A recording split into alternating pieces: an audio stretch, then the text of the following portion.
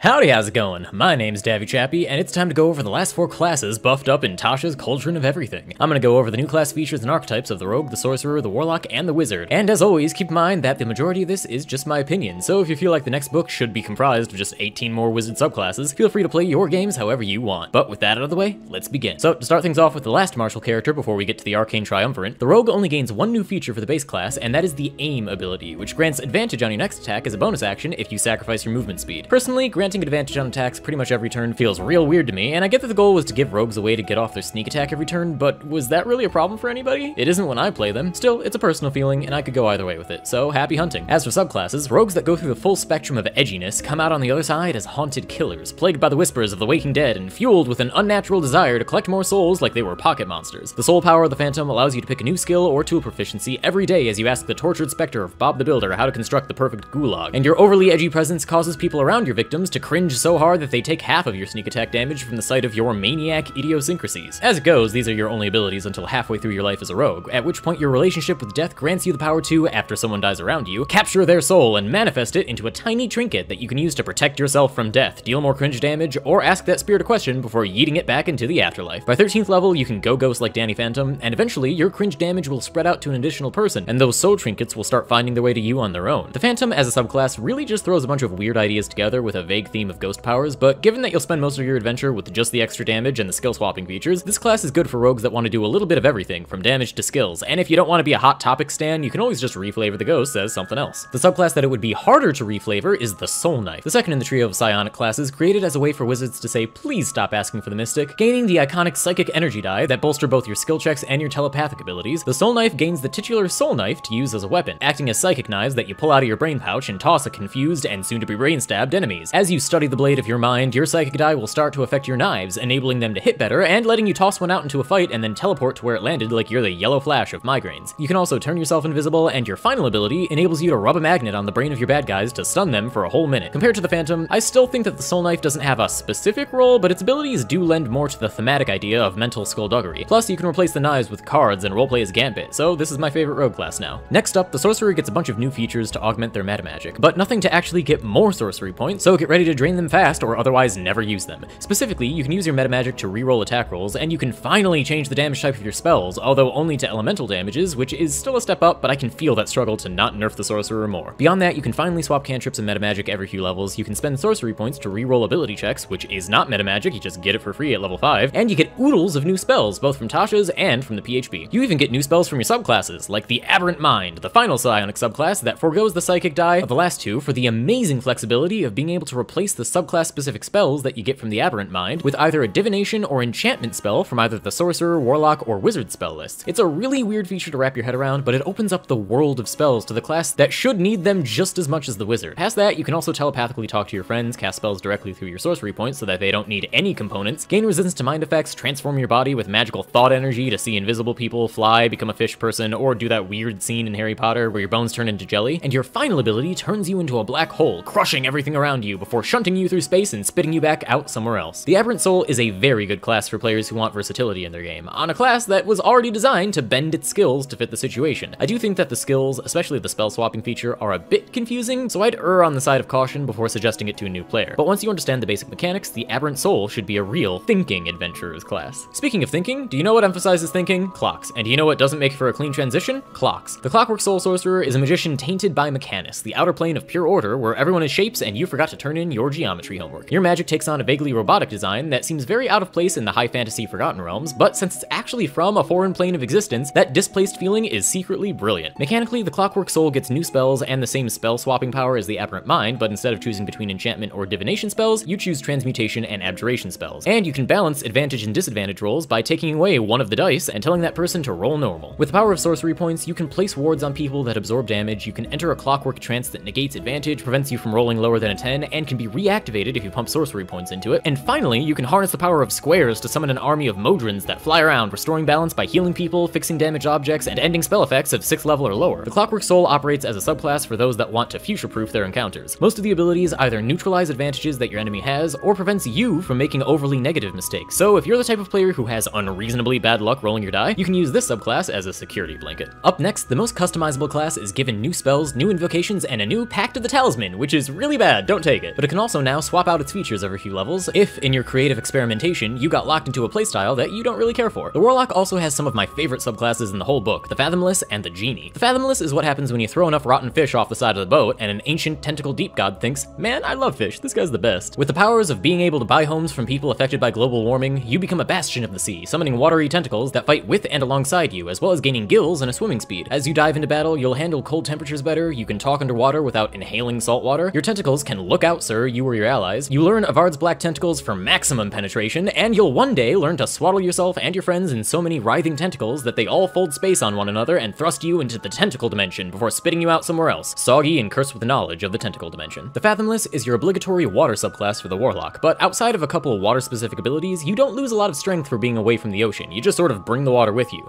Or maybe that's just sweat. Gross. As for the Pact of the Genie, where there's a will, there's a way, and the Genie is your way to play the Elementalist Warlock that you've probably never even thought about. As opposed to the other patrons, the type of Genie you pick will have an effect on your character, as the Pact of the Genie gives you new spells to pick from depending on whether your Genie is a Jinn, an Ifrit, a Marid, or a Dao. And their element provides specific buffs, like dealing more elemental damage when you hit. Your Genie also provides you with a housing vessel for you and your friends, protecting you from the outside world so long as you can excuse the itty-bitty living space. As the power in your corner grows, you gain resistance to your Genie's chosen elements, you learn to fly, give your friends 10 minute short rest when they hop in your vessel with you, and your final upgrade gives you the almighty power of the Genie, the power to wish. Not only do you get wish as one of your subclass spells, but at 14th level, you can beseech your Genie to grant you the power of one spell of 6th level or lower. Like I said, the Genie Warlock is an elemental powerhouse, and if you find a way to reflavor the vessel mechanics, you could just use the subclass as a template to play the avatar that the monk could never give us. Holy hell, we're almost done. Okay, last class is the wizard. You can replace cantrips every long rest now, and that's not the wizard being flexible, that's just the wizard flexing. You also get one and a half new subclasses, the Order of Scribes and the Bladesinger. The Bladesinger is a little weird. It originally showed up in the Sword Coast Adventurer's Guide, the place where subclasses go to die, and it was brought back in Tasha's with minor buffs, namely that your Blade Song uses scale with proficiency now and aren't just set at 2, and now you can replace one of your attacks with a cantrip when you get your extra attack. Those are worth mentioning as being buffs, but they don't change my overall opinion of the subclass, so you can find me talking about it in the OG Wizard Spell Guide. TLDR, it's fun, it's powerful, but if you do manage to get hit, you'll be reminded you're a wizard, Harry. As for the Order of the Scribes, it is best practiced by those wizards who talk to their spellbook like it's a real person, because to the Order of the Scribes, it is. Acting as a sort of pseudo-generalist wizard, you'll be handed a quill with the powers of being a really good quill, and a book with a mind of its own that can be used as a spellcasting focus, as well as a means to cast rituals instantly and swap around the damage types of your spells so that no resistances will ever harm you again. That book mind will eventually manifest as a full-on magical floating head that can see in the dark and belch out spells as if they came from you. You'll also learn how to scribe your own spell scrolls, and your bond with the magical head will grow as it helps you recall magical information, and in times of extremely dire need, it'll look out, sir, for you when you get hit by a powerful ability, then burn a bunch of your spell pages so that you can't use them for a while. And those spells take multiple days to recharge, so whatever you're blocking better be worth it. The Order of Scribes is complicated, to say the least, which isn't bad because it's an archetype for the thinking class, and for people who don't want to specialize in one school of magic, and instead take the field as far as it'll go, the Order of Scribes is one of the more rewarding subclasses in Tasha's Cauldron of Everything.